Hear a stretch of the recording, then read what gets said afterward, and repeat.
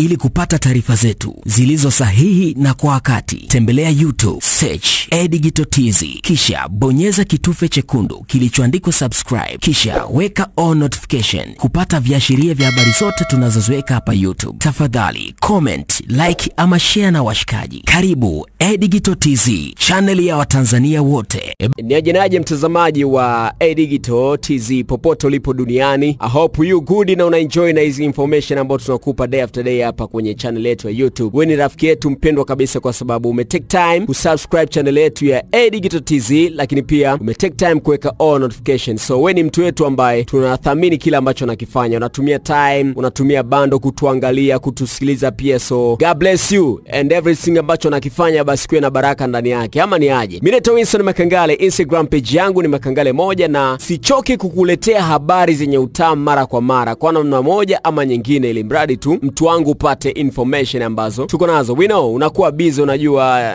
wiki nzima, siku nzima unakuwa busy kufanya kazi. Uh, kuna vitu vingi huenda vinakupita kwenye mitandao kwa kutwa nzima, so sisi kazi yetu ni kukusogezea zile habari zote ambazo zimekupita wakati uko busy kufanya kazi, au siwe? Kwa sababu serikali yetu inatuambia hapa kazi tu inabidi tupige kazi, alafu ikifika time kama hii hapa unachukua simu yako, basi unapata information zote ambazo huenda zimekupita wakati uko kazini. Anyway, leo tuna story inatokea kwa Kajala Masanja, ni tunamfahamu kama mwigizaji, lakini pia ni, ni mdada ambaye ana muonekano mzuri sana, ana followers wengi kwenye Instagram page yake, na aliwahi kuwa rafiki mkubwa sana wa Wema Sepetu, na mpaka sasa hivi tunaona kampeni zimewarudisha pamoja kuwa marafiki. Ni kitu cha msingi sana. Tuliona kipindi fulani uh, Wema alichukua fedha zake kama milioni kumi na tatu hivi kumtoa Kajala agerezani gerezani na akawa uraiani. Baadaye urafiki ukafa, na unajua sasa hivi tunaona Mama Samia amewakutanisha tena kwenye kampeni na wamekuwa tena marafiki ambao ni mama ongea na mwanao ama ni aje? So kupitia kipindi cha Salama na Kajala amefanya mahojiano, ni mahojiano marefu ambayo yana part 1 na part 2 yenye title ya Jeraha la Moyo episode ya 34, au sio? Big up sana kwa Salama kwa kazi nzuri ambayo anaifanya, na sisi tumechukua machache tu ambayo yanatokea pale. Kajala bwana amefunguka theo ambavyo alikutana na P-Funk Majani na situation ambayo alikutana nayo, au sio? Eh, namnukuu kupitia kipindi hiko, Kajala amesema nilikutana na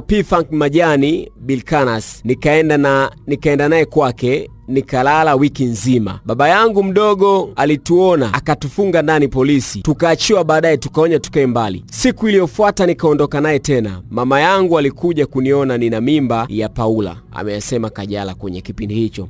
Anyway, tunafahamu nyama P-Funk Majani mwenye unyama mwezi mwingi sana, au sio? Na ni mfalme pia huyu kwenye upande wa producing ngoma za bongo flava, ameitoa bongo flava kutoka kule, yani mpaka sasa hivi imefikia hapa, usio? sio? Nafikiri zile bata ambazo Kajala alikutana nazo kipindi hicho kwa Majani ndio zilimdatisha kukaa wiki nzima ama kufungiwa wiki nzima, you know, kwa P-Funk bongo record wasanii kama Feruz kipindi kile, Professor J, Juma Nature, au sio, wagosi wa Kaya ama ni aje? Yani ile list A ya wasanii wote wakali Kajala alikuwa anaona pale, so ilikuwa ni kitu ambacho hajakitegemea. Yani unakutana Mnyama Club alafu mnaenda ghetto, ni mnaenda mastudio ni unakutana yani na, na, na, na, na masela kibao, mastaa wote wanamtima wana jani, so kitu kidogo. So huenda zile bata ambazo alikutana nazo Kajala ilikuwa ni surprise kwake, ikamfanya akae wiki nzima. Congratulations kwa P-Funk kwa sababu aliweza kumng'oa Kajala kule na kupata naye mtoto ambaye ni Paula kwa sasa, au sio? Kwenye story nyingine ni kwamba uh, Kajala ameelezea kwamba kinachomuhimiza sasa hivi ni yeye kumweka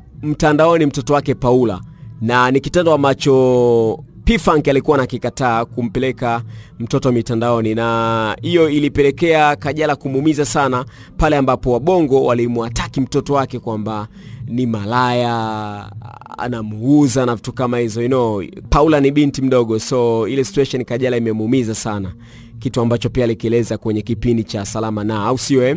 E bana, big up to you ambaye umetazama na kuisikiliza pia fanya hivyo mara kwa mara, tunakuwa tunakuletea hizi stori na hatuchoki kufanya hivyo kwa sababu tunathamini uwepo wako hapa.